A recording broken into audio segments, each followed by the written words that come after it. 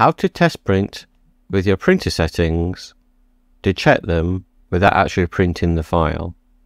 So normally when you say open image and you click on file print and you set your printer settings, say printer properties and say document options, watermark, and you want a, a draft on it. When you click print, it will print out on the printer with that draft image, but there's no way of capturing that. There's no way of testing that. Now with Spool Queue Viewer++, plus you can actually do that. So what you do first is open the software. You double click on the printer you're going to print to, click printer, and then pause printing.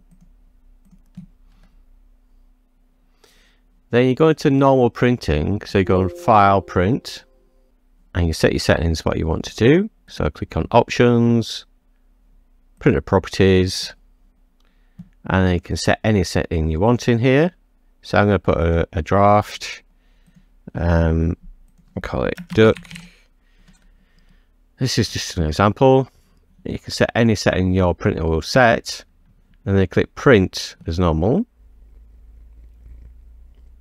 So that will send it to the printer queue. If I look now, I can see the full page photo there waiting to print. So if I now double click on that, it re-renders it back to PDF. So it as the watermark and any other settings that you're going to use. So it's a good way of testing your printing without actually printing it out. And you can actually save that then and send it to somebody without actually printing it. So it means you can use all the features on your printer, like the color, DPI, things like that, without actually printing it out. And you can do this for any printer you want. You just got to remember to pause it first, and then you can re-render the print job back to PDF with your settings. Give it a try.